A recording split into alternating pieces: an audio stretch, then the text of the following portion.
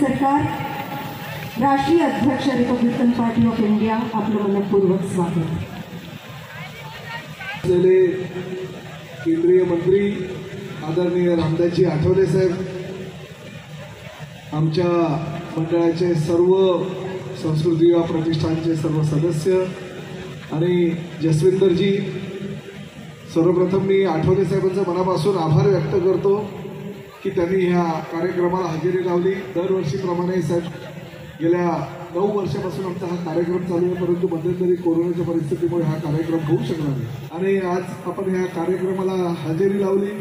प्रामुख्यानं आठवले साहेबांचं एक वैशिष्ट्य आहे की जसे जैसे जसवंतजी जी आप फेमस हो वैसे आठवले साहब भी फेमस है क्योंकि जैसे आपको सुनने के लिए लोग आते हैं वैसे उनकी कविताएं सुनने के लिए भी लोग आते हैं. बिल्कुल बिल्कुल हो जाए फिर आज क्या होता है? उनकी कविताएँ घिसी नहीं रहती उनकी कविताएँ वो बैठे बैठे निर्माण करते हैं और फिर मंच पे आके कविता गुनगुनाते हैं। क्या बात है? खाली यहीं पे नहीं मंच पे नहीं बल्कि लोकसभा में राज्यसभा में भी वो अपनी कविताएँ सुनाते हैं। पंतप्रधान मोदी जी भी उनके ऊपर बहुत खुश है। और ऐसे नेता आज हमारे बीच है मैंने तो आठवले जी एक कार्यक्रम में मिले और उनको कहा कि मेरा ये फेस्टिवल है 26 27 28 उनतीस, आप एक दिन ज़रूर आइए। तो उन्होंने देखा, उनका प्रोग्राम शेड्यूल देखा और मुझे कहा कि 27 तारीख को मैं आऊँगा मुझे पूछा कि 27 को कौन आ रही है?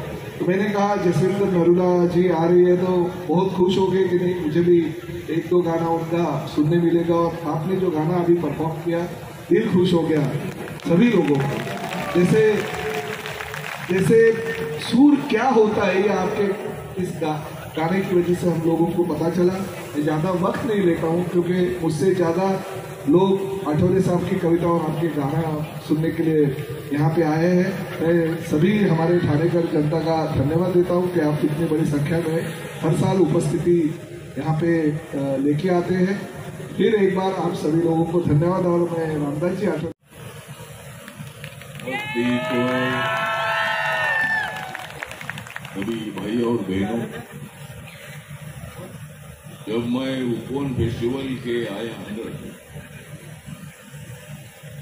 जब मैं उपवन फेस्टिवल के आया अंदर तब यहाँ गा रही थी जसविंदर।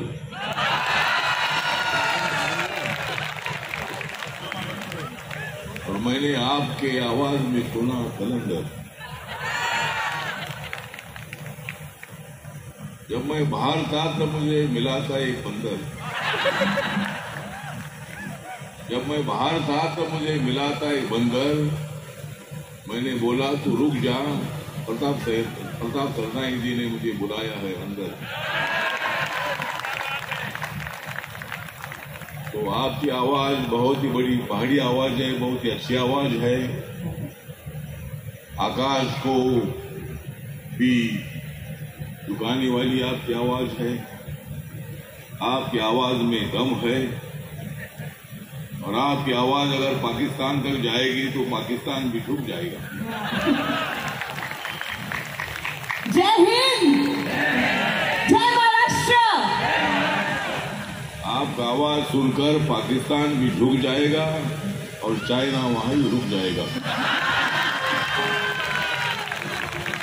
की मुंह ही शक्य प्रताप सरनाईक हे आमचे अत्यंत लाडके नेते आहेत अत्यंत ऍक्टिव्हली काम करणारे आहेत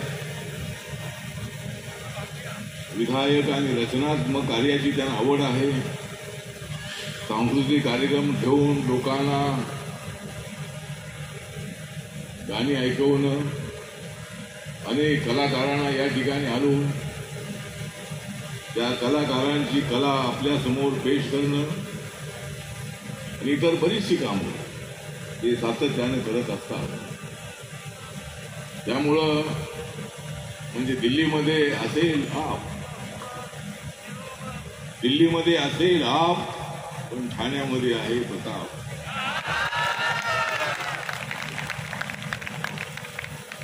तर आमचे प्रताप सरनाईक हे अत्यंत ऍक्टिव्ह आमचे मित्र आहेत. आणि त्यांना या ठिकाणी अडवण्याचं सामर्थ्य अजिबात कुणामध्ये नाही. आणि प्रतापजींचा आग्रह होता की मी या फेस्टिवलला आलो पाहिजे. मेरा भांडरला आपला फेस्टिवल झाला त्याला सुद्धा मी उपस्थित होतो. आणि अनेक वर्षांपासून सातत्यानं आप आपला हा प्रयोग सुरू आहे. आणि या कार्यक्रमाला शुभेच्छा देण्यासाठी या ठिकाणी मी आलेलो आहे. तुम्ही जास्त वेळ न घेता मी या ठिकाणी जास्त बोलता. एवढं सांगतो की प्रताप सरनाईक जी मैं करता हूँ तुम्हारे दुश्मनों का सामना.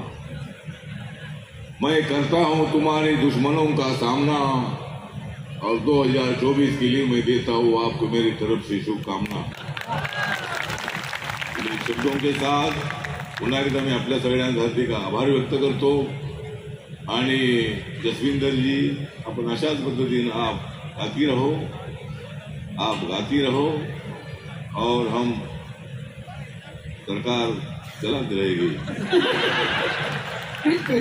जब तक आप गाती रहेगी, तब तक हमको कोई प्रॉब्लम नहीं है।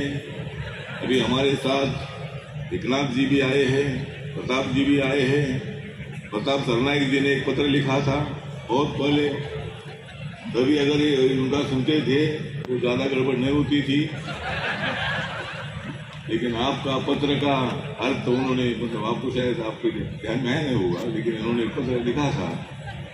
ऐसा ऐसा करना चाहिए, मोदी जी के साथ रहना चाहिए, देवेंद्र फडणवीस के साथ रहना चाहिए अटोले के साथ रहना चाहिए। लेकिन वो बोले कि नहीं नहीं नहीं नहीं नहीं तो फिर ठीक है। हम देखते हैं क्या करना है।